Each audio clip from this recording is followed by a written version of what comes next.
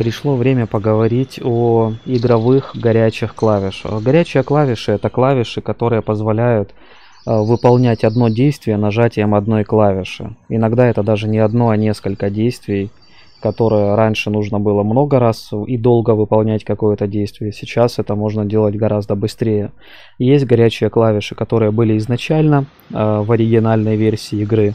Есть горячие клавиши, которые уже добавил непосредственно Baratorch, который является разработчиком HD мода, о котором мы с вами в принципе ведем речь в третьих героях. Итак, сначала поговорим о горячих клавишах, которые есть на карте. Если у вас на карте есть города, в которых есть таверна, то нажав английскую клавишу G, вы вызовете э, открытие логова воров. Вот как в данном случае. Также, зажимая клавишу F5, у вас будет появляться вот такое меню.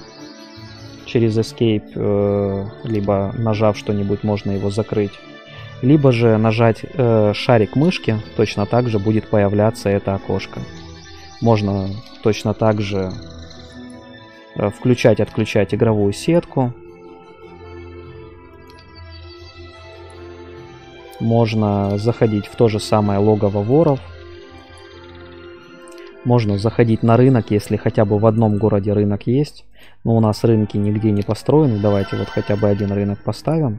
После этого, переходя на рынок, вы будете попадать именно на него, что тоже Э, как я считаю, довольно-таки удобно.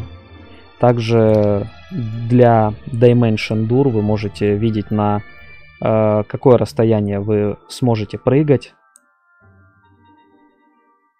Во время хода соперника даже можно все это дело проверять, что очень удобно. И вы можете там сидеть для себя, просчитывать, куда вы успеваете добежать, куда не успеваете. Все это просчитывается, скажем так, до мельчайшего шага.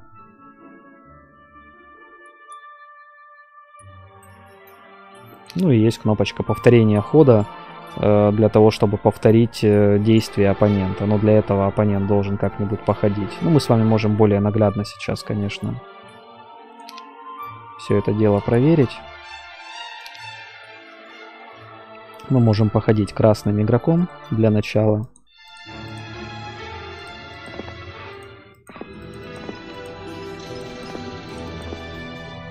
а потом на ходе синего игрока, в общем-то, нажать повторение хода. Ну, здесь у нас стоит очень быстро. Давайте скорость врага поставим очень медленной.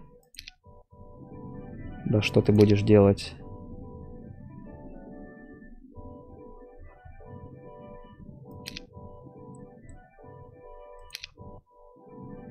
Слишком быстро все равно показывается. Но в любом случае движение этого героя видно что не может не радовать. Тогда мы можем пробежаться в обратном порядке.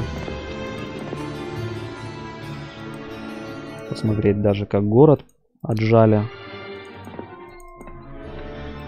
Вот давайте на ходе теперь красного посмотрим, как это происходило. Тоже, кстати, довольно быстро. Такое ощущение, что будто не сработало. Давайте скорость героя тогда уменьшим. Вот только при уменьшении скорости героя мы с вами смогли замедлить и посмотреть в замедленном виде, что же происходило, чтобы нигде ничего не пропустить. Особенно важны такие появления при появлении того или иного героя с портала даже. Вот мы ж, вы можете забежать каким-то героем внутрь портала, выглянуть и спрятаться, например. Теперь, когда ход будет у синего игрока, он нажмет повторение хода, он увидит, что какой-то герой забежал в портал, выглянул с него и опять забежал внутрь. Таким образом, этот герой может находиться внутри портала. Это очень интересный момент. И опять-таки можно соперника на этом ловить. Если какой-то соперник не посмотрел, что находится в портале, и не нажимал эту кнопочку повторения хода, то он за это может очень сильно поплатиться, ребят.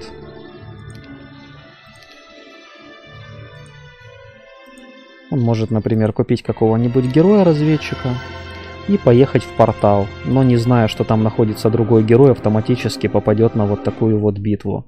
Помнится, и я не раз натыкался на такую ситуацию. Иногда бывает, что герой вообще на какой-нибудь единичке бежал, разведчик натыкается на армию оппонента, которая стоит на портале, но с обратной стороны, и ты забыл нажать кнопочку повторения хода и думаешь, ну блин, ну как так, просто отдаешь героя на ровном месте. И соперники попадались на такие же возможности. Делается это по нескольким причинам. Во-первых, э, с обратной стороны портала можно героя ставить, чтобы соперника застать врасплох, Второй момент это там ставится какая-нибудь охрана с обратной стороны портала для того, чтобы не пропустить никого из разведчиков или главного героя оппонента, который даже если убьет эту армию, то потеряет и часть своей, которую вы магией убьете. Поэтому лучше так на портале ставить не обычных каких-нибудь героев-воинов, а именно магов которые могут э, магией закидать какую-то армию оппонента. Это очень важно.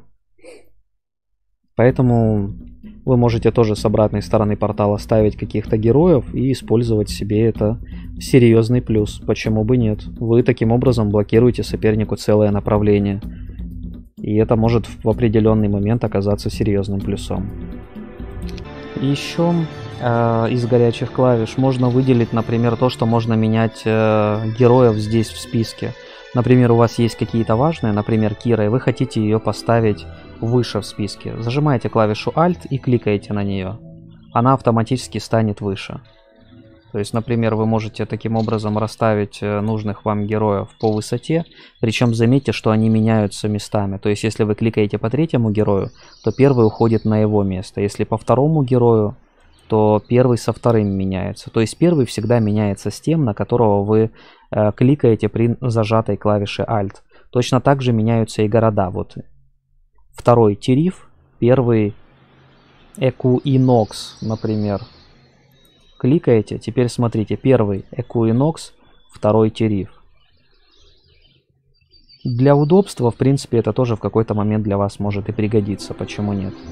Еще одной интересной особенностью горячих клавиш является то, что вы можете шариком мышки прокручивать количество героев и прокручивать количество городов, если они не влазят. Ну, у меня стоит большое разрешение экрана, поэтому э, героев прокручивать не получится, все 8 вмещаются, а вот городов у нас больше 7, поэтому их, в принципе, можно прокрутить.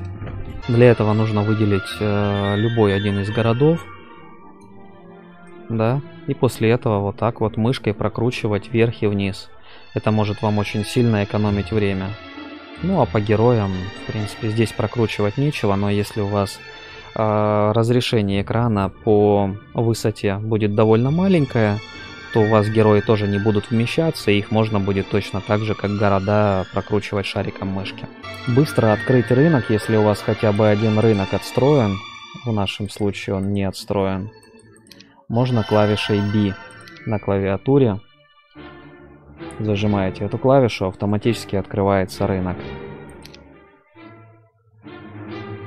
Это на клавише с русской буквой И. Далее рассмотрим с вами окно героя. Когда один герой нажимает по второму и у них открывается окно передачи армии, то теперь смотрите, нажимая по вот этим стрелочкам, вы можете передавать нужные стеки сопернику, но при этом одна единичка у вас в любом случае должна будет остаться. При этом есть э, кнопочка посередине в виде двух стрелочек, нажимая на которую вы будете меняться всеми армиями. То, что было у одного, станет у второго, то, что было у второго, станет э, у первого. Также есть кнопка «Передать всю армию», остается только самая слабая единичка. Точно так же и наоборот. Передается все, остается только самая слабая единичка. Также можно передавать сопернику единички. Зажимаете клавишу Ctrl и видите, что кнопки немножко меняют свой вид. Вот при зажатой клавише Ctrl вы передаете сопернику единички в каждый слот. Можно все это дело вернуть. При зажатой клавише Alt вы передаете всю армию, кроме единички из того стека, который вы зажали. Точно так же зажимаем клавишу Alt, нажимаем и остаются, видите, стрелки, под которыми мы нажали. То есть, например, хотите для разгона оставить здесь горгулек, Зажимаете Alt, нажимаете на стрелочку под горгульками, останется единичка горгулек. Очень удобно, как по мне. Ну и есть еще клавиша Shift, которую если нажать, и нажать, например, на гремлинов, то у вас с этого стека будет э, передаваться тоже единичка, но если при зажатом контроле эта единичка передается в каждый новый стек, то при зажатом шифте эта единичка передается в один единственный самый большой стек. Ну, опять же, для кого-то это может быть очень и очень даже удобно. В этом же окне, ребят, можно обмениваться артефактами. Вот есть кнопочка «Поменять все артефакты». Но если, например, на одном были одни артефакты, на втором вторые, вы просто меняете их местами. Также есть кнопочка «Передать все артефакты». Точно так же передать все артефакты. Вместе с артефактами передаются и боевые машины. Баллиста, а, палатка первой помощи и подвозка боеприпасов. Точно так же есть клавиша F10, которая меняет всю армию. F10. И клавиша F11, которая меняет все артефакты. Что тоже очень быстро. Не вручную, как это надо было делать раньше, а гораздо быстрее. Сейчас все это дело происходит. Если вы себя приучите к горячим клавишам, то очень сильно будете экономить и свое время, и время оппонента. А с учетом того, что сейчас в основном все-таки ведутся игры с таймером, то уж поверьте, это вам может очень и очень сильно пригодиться. Но если зажимать клавишу Shift и нажимать на кнопочку передачи армии, то у вас в этом случае передаются только артефакты из рюкзака, а не все. А если зажать клавишу Alt и передавать ресурсы, то Точнее, не ресурсы, а артефакты. Артефакты передаются в этом случае все.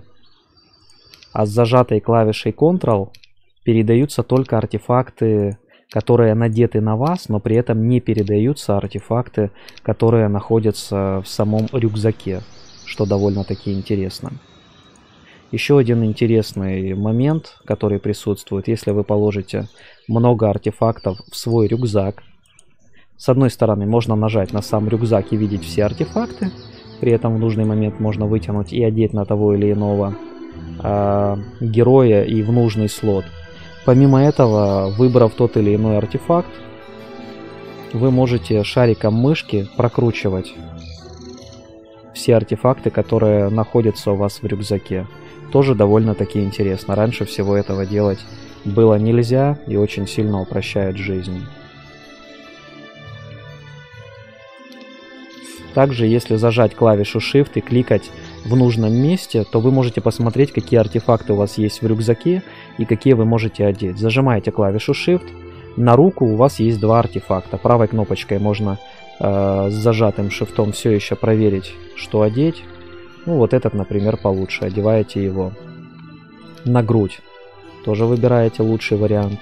Шапка выбираете лучший вариант. Щиточек тоже лучший вариант и так далее. Можно все проклацать и выбрать наилучшие варианты для вас. Что тоже довольно быстро. Чтобы не искать в рюкзаке, он у вас может быть завален полностью да, артефактами. И смотреть что, куда, одевать и долго. Зажали клавишу Shift, быстро поклацали на все нужные места, поменяли между собой артефакты и чувствуете себя как заново родившись. Еще один довольно интересный момент – это если у вас есть какой-нибудь э, герой, у которого есть тактика, вы можете отключить показ тактики. То есть если сейчас на этого героя нападет любой герой, он увидит, что этого героя есть тактика, и на будущее будет уже к этому готов. Вот герой атакует, и смотрите, появляется вот такое вот сообщение, и герой начинает расставляться, как будет нужен. Кстати, во время тактики можно кликать на нужного героя и юнита и расставлять их э, в нужном порядке. Или, например, не туда поставили, хотите так, так. Раньше надо было каждым существом походить, чтобы опять вернулся ход до нужного существа. Сейчас гораздо быстрее. Нажали на нужное, поставили куда надо и начинается непосредственно сама битва. Зайдя в окно героя, вы видите Здесь вы можете выбрать, э, как ваши войска будут сосредоточены, если они разбиты на единички. Сосредоточить э, боевое соединение, группироваться в стороне во время битвы или же стандартно по всей ширине экрана. Ну вот, например, выберем нижний вариант и при этом включить тактическое формирование. Оно у нас включено, да? Вот давайте с включенным тактическим формированием сейчас проверим, как все это дело будет выглядеть. В принципе, особо ничего не поменялось, как оно было рассредоточено, так в принципе и осталось. Теперь вариант номер два. Вот эту вот кнопочку правую нажимаем, чтобы она стала неактивной. Таким образом у вас э, тактика отключается. И нападая на соперника, вы ему покажете, что якобы у вас тактики нет. Вот, сразу же начинается бой. И соперник думает, ага, значит у него тактики нет, значит... Э, мне к этому особо готовиться не надо, и может себя вести так, как будто у вас ее нет. Только не забудьте ее в нужный момент все-таки включить, иначе определенных проблем вам в любом случае не избежать. Еще довольно интересный момент, что зажимая клавишу Alt и кликая по артефактам, вы их автоматически снимаете. Ну а клавишей зажатой Shift вы, понятное дело, что можете нужные артефакты одевать, если такие есть. Опять же, Shift и Alt, все те же клавиши, позволяют вам управлять окном героя. Допустим, у вас в городе находится два героя. Э, клавишей пробел вы можете этих двух героев менять между собой. Также меняется и армия, которая есть у них в наличии. Вот, например, таким вот образом. Очень удобно, да? Помимо этого, точно так же у героев, зажимая клавишу Ctrl, можно добавлять героев, зажимая клавишу Alt, можно объединять героев вместе. Зажимая клавишу Shift, можно делить их пополам на одинаковые стеки, через Alt опять же. Это действует на всех героев. И более того, ребят, это можно даже делать в боковом окне. Как вот сейчас это происходит, видите? Объединяем, через Shift делим, снова Alt и так далее. Что довольно-таки удобно. Если у вас этого бокового окна нет, достаточно просто здесь поклацать мышкой, либо поклацать по разным героям, и это окошко опять же появится. Поэтому не обязательно даже в окно героя входить. В общем, очень много таких интересных моментов появилось, которых не было раньше. Зажимая клавиши Ctrl-Alt-Shift и кликая по южному по нужному юниту вы оставляете единичку того юнита, по которому вы кликнули, остальную армию передаете дальше.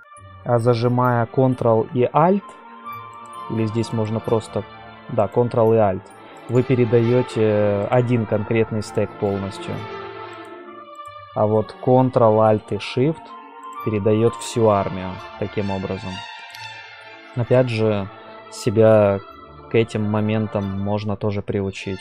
Эти сочетания, они работают не только внутри города, но и если встречаются два героя, им нужно передавать армию друг другу в окне героев, да? Также есть еще один интересный момент, если вам надо наделать быстро единичек, зажимаете Ctrl-Shift и кликаете по нужному юниту.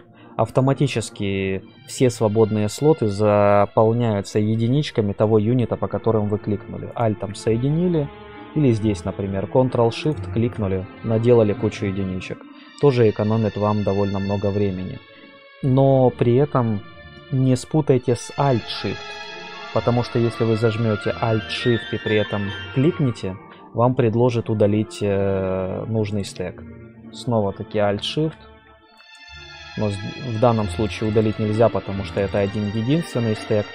И бывали случаи, когда игроки Э, путали комбинацию клавиш по каким-то причинам, удаляли какой-то важный стек и даже из-за этого были на грани проигрыши, а может быть даже и проигрыши были. В общем, с этим нужно быть очень и очень осторожными и аккуратными. Также есть довольно интересная фишка, ребят, э, по поводу костюмов героев. Дело в том, что можно придумать определенное снаряжение. Ну, например, Наилучший вариант одежды у нас есть вот такой. В этом случае мы с вами собираем даже доспех проклятого, да? И мы можем запомнить этот костюм, если зажмем с вами определенную комбинацию клавиш. Это клавиша Ctrl и цифра, например, 1. Слышали такой щелчок? Тринг. Это значит, что комбинация заполнилась. Дальше мы можем все это дело разобрать через правую кнопочку «Сборный артефакт». Собираются и разбираются сборные артефакты именно через правую кнопочку. Клавишей Alt можем все это дело снять. Э, нарядить нашего главного героя теперь уже по-другому. Опять же, с зажатой клавишей Shift можем одеть. Нет, не так. Вот так. Так. Ну, то есть более плохие варианты. И здесь нажмем Ctrl-2. Точнее, Shift-2. Или, да, Ctrl-2 все-таки. И далее клавиша 1 у нас все это дело снимает. Клавиша 2 одевает первый вариант.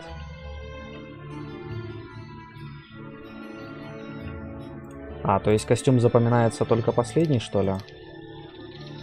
Ну вот двоечка, она одевает. А, может быть оно не запомнилось из-за того, что был сборный артефакт.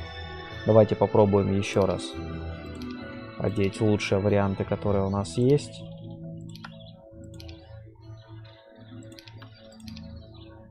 И попробуем вот таким вот образом зажать Ctrl-1. По двоечке одевается один артефакт, по единичке второй. Единичка, двойка. Тоже очень удобно, можно э, один, например, сборник сделать там под защиту хороший, второй под атаку хороший, или один со сборными артефактами, второй без. Но что-то как-то со сборными артефактами здесь не запомнила. Ну, возможно, я что-то делаю не так. В этом плане э, можете вы поэкспериментировать вам домашнее задание и отписаться по этому поводу в комментариях. Также интересный момент, что если вы, например, запомнили какой-нибудь э, костюм, например, клавишей Shift 1, и потом собрали другой костюм и опять нажали Shift 1, то вы таким образом первый костюм перезаписываете вторым, и первый уже не будет появляться э, через зажатую клавишу 1-2, да? И смотрите, вот это вот запоминание, оно работает не для каждого героя по отдельности, а для всех героев, которые есть у вас. То есть независимо, кому вы будете передавать все артефакты, любому герою, который у вас был, будет, есть, вы зажимаете точно так же клавишу 1-2, и все это дело должно будет меняться. Мы можем с вами все это дело продемонстрировать. Надеваем костюмчик на второго героя. В данном случае это Айн. Пробуем здесь клавишу 1 и 2 и видите, артефакты отлично меняются. Вы скажете, а что если не будет хватать нужных э, артефактов для того, чтобы одеть? Вот, например, единичка, двойка одевается, а единичка теперь нет. Потому что не хватает артефактов. То есть, если не хватает даже одного артефакта... Кстати, а вот интересный момент. А если будет э, не хватать там буквально одного артефакта. Оденутся ли остальные? Давайте проверим. Смотрите, двойка, единичка. Да, ребят, даже если одного артефакта не хватает, остальные артефакты все равно оденутся. Блин, ну это прикольно. Реально благодарочка Бараторчу. Прикольная фишка.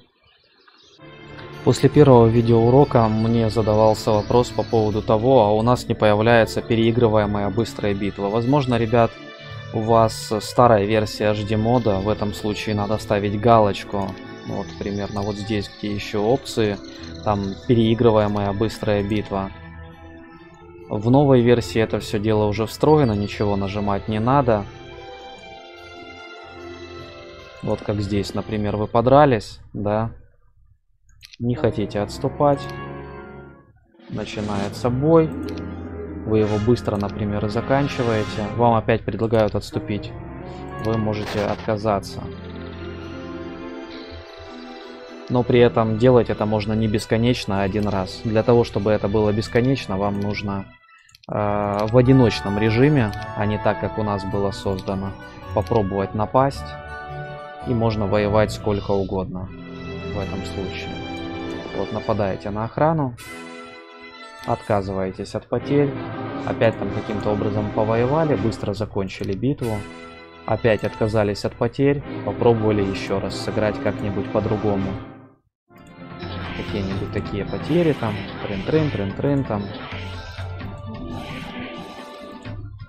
Смотрите, 20 феек потеряли. Отказываетесь от потерь, говорите нет. Я буду пробовать по-другому.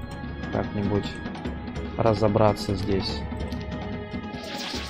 Заходит моралька. Тогда были потери 20 феек, если вы помните.